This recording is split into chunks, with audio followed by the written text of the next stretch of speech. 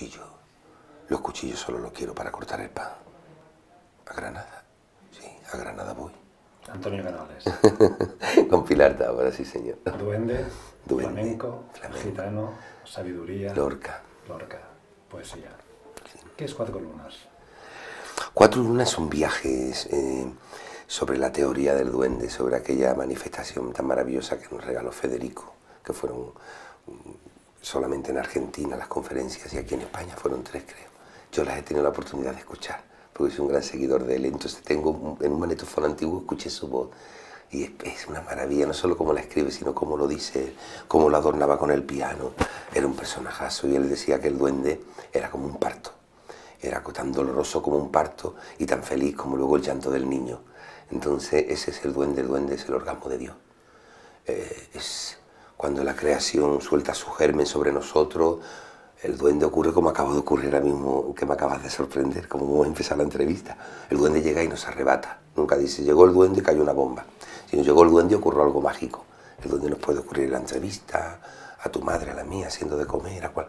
El duende es el misterio. ¿Dónde está el duende de Antonio Canales cuando hizo Torero? ¿Y dónde está el duende de Antonio Canales ahora, en estos Claro, creció conmigo a su vez, porque yo siempre me predispongo, pero él dispone. Yo me abro mi corazón cuando aparezco y digo, ven a mí, arrebátame y arrebata con mi corazón al público. Pero el duende que me arrebataba con aquel torero, yo con mi- mi- mis veintipocos años y despegando como creador, pues era un duende también más inocente, más para, para, para. El, el que me visita ahora lleva un pozo de sobriedad que han ido dejando los años en mí. Entonces él, él para, él es también igual que yo, él, él es más anciano que yo. Entonces entra ahora de otra forma a matar. ¿Sabes? Quizás el duende de aquella, de aquella vez era un duende de capote y este duende que tengo ahora es un duende de muleta, que es un duende más profundo.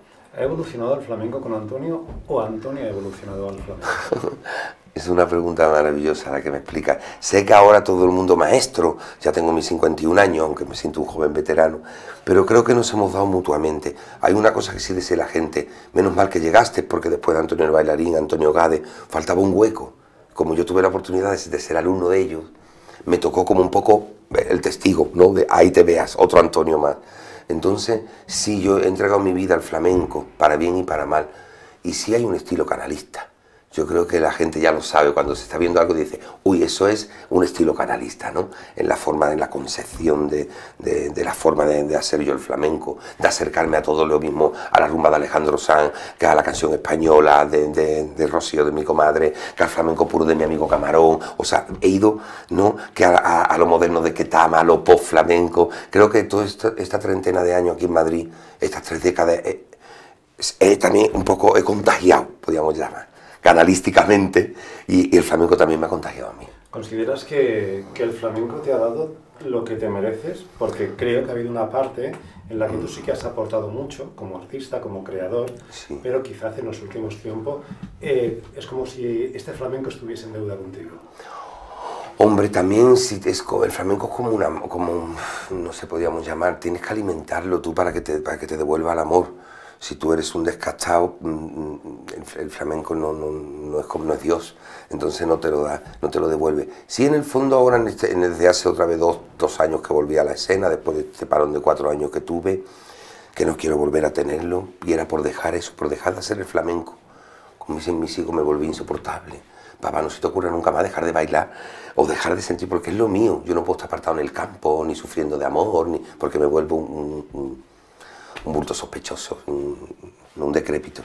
Lo mío bailar, lo mío, lo mío sentir. Entonces, claro que ahora está en deuda. Ahora no paro de hacer cosas. El año pasado hice 103 galas.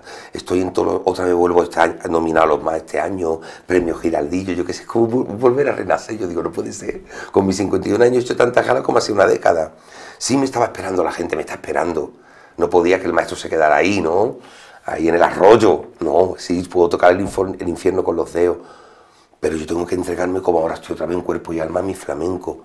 Entonces el flamenco cada noche me regala muchas cosas y el público me estaba esperando porque me lo debía un poco el flamenco. ¿no? Tocas el flamenco o tocas casi eh, el infierno con los dedos, Sí, sí. pero sin embargo vuelves al cielo Sí. y te encuentras con pareja no.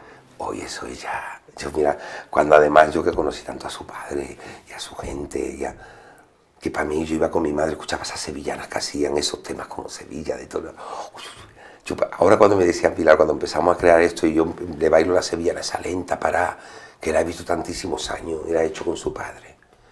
Entonces, para mí es un regalo cada noche.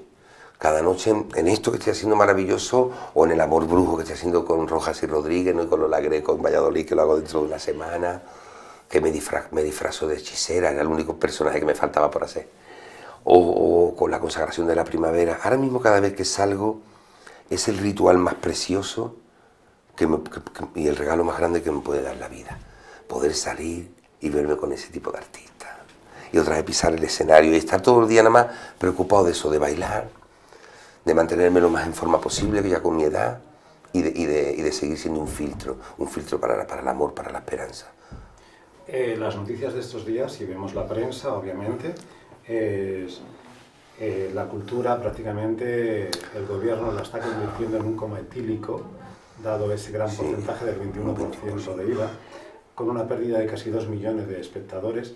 ¿Dónde está el sacrificio que habéis hecho los grandes artistas para después tener esta compensación o este varapalo? ¿Qué es lo que pues, habéis hecho Vamos, verás, el año pasado hice 103 galas, pero estuve 7 siete, meses fuera de nuestra frontera. Entonces era muy doloroso estar en los momentos de las Navidades, no como antiguamente, ¿no? cuando hacíamos las, las, Américas, como decía. ¿no? Entonces, pero era digno de ver una cosa. Cuando por ahí en Colombia o, en Japón o lo otro están viéndonos, porque por ahí se ve nuestro país todavía peor, la imagen nuestra es terrible, la imagen nuestra es de llorar. Tú estás fuera de España, en un país donde todavía la, crisis está aquí, eso que dice que tanto el mundo es mentira, eso no es verdad. Está aquí, en los países del, sur de Europa, no es más. En Alemania no hay crisis de nada, tú lo ves por el aeropuerto que no la hay. Entonces, cuando estás fuera, además, la imagen nuestra es de España, ¿eh? bueno, vamos a, no, no lo vamos a poner un adjetivo. Entonces, lo bueno es que nosotros, yo, por ejemplo, y otros tantos, pero yo, por ejemplo, inauguré el año pasado el, Festival de Danza en la ciudad de Bogotá, en el Eliezer Gaitán, cuatro días, con 1.800 personas lleno todos los días, todo hablando sobre lo nuestro. Inauguré la obra Bolero de Nelson Pineda en Japón, nos han visto más de 10.000 espectadores. Pues lo bueno de ellos es que ven esa noticia no está terrible, pero lo nuestro eh, tiene una demanda y está en completamente estado de perfección y tiene crisis, ni, ni el flamenco tiene crisis. Entonces, o el Festival de Londres que ocurrió hace 20 días, Tosar del Güell lleno durante 21 días. Y la libra, que ellos no son europeos, ellos sí que, ellos sí que es caro. En, para que la gente comprenda, cuesta un paquete de cigarrillos 10 euros, el doble que aquí y su nivel de vida de ellos es todo el doble que aquí y se supone que el inglés es europeo. Los teatros llenos, la gente tiene dinero y, va a ser, tú no ves en Londres ninguna crisis.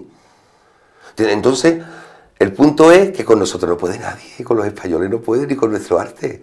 Nos, eh, están poniendo por el suelo, pero el arte es la, mejor que el embajador y mejor que el consulado que haya ni nada de nada. Es como, nos, nos, vaya tela los buenos artistas que son los españoles. Estarán muertos de hambre, pero vaya tela como, como el, arte, el arte lo tienen a unos niveles de, cosa que aquí no. Entonces, aquí a la gente la están volviendo un poco con encefalograma plano.